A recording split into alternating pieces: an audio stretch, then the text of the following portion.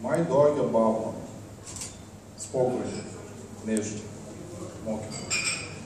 Навлегува во време кога единствените арабески се прошалници, превртени налеки злат шестки. Нацртани во стаклената утренска магла, што им вели на очите, из кои дечат алови реки, дека секоја тревка од зеленилото се натреварува за поубав видик кон сонцето, друго што е незнае.